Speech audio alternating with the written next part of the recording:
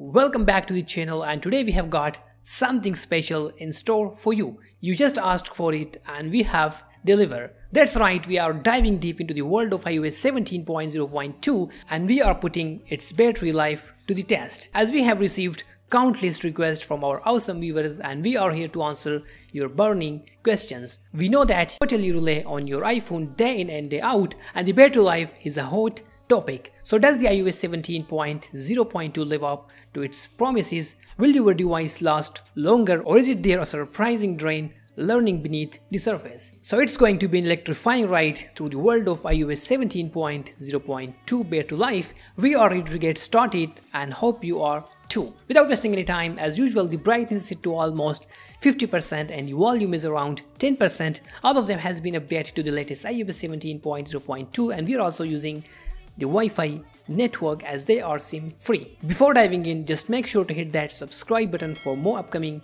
videos. Now we will be using all these applications each for one hour. At the end of this video, I'll be showing you the battery health of each iPhone. So just be patient, enjoy the music and I'll be right back. You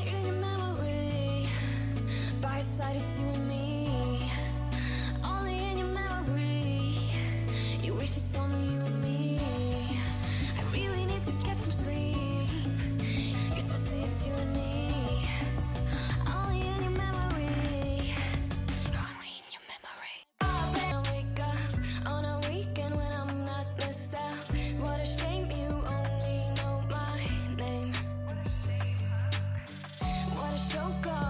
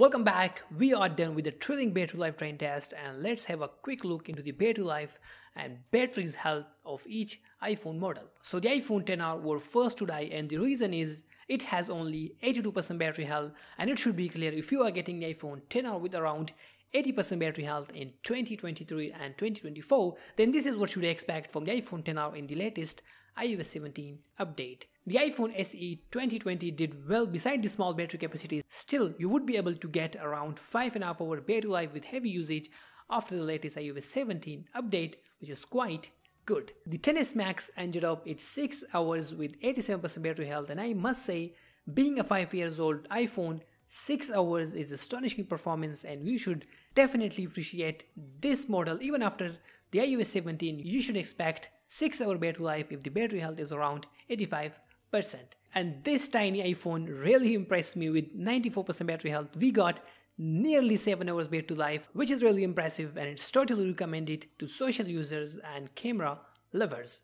While the battle was tight but the iPhone 11 got around 30 minute extra battery life as we have seen before iPhone 11 battery life is slightly better than the iPhone 12 basic model and it has just proved it again. But anyway, if you can still get more than 6 hour battery life, then it's still worth buying and recommended to gamers as well. And here comes another tiny one, iPhone 13 mini compete very well against the big brothers as we got almost 7 hours battery life which is just a tiny beast. The iPhone 11 Pro and 12 Pro also perform well on the latest update. If you are thinking to get these model in 2023 and as well as in 2024 just make sure the battery health should be around 85% or more than that so you should be able to get more than 6 hour battery life with heavy usage. And here we go.